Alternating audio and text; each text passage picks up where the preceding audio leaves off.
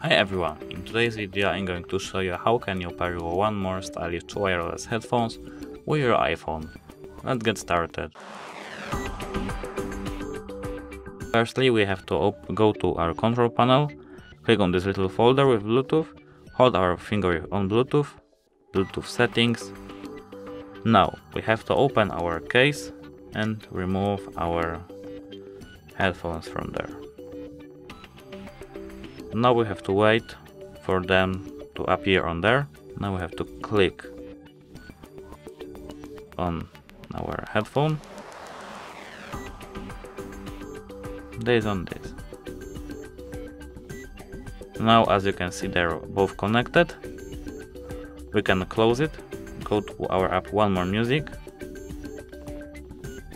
and as you can see they are now connected. Thanks for watching, like and subscribe for types videos and goodbye.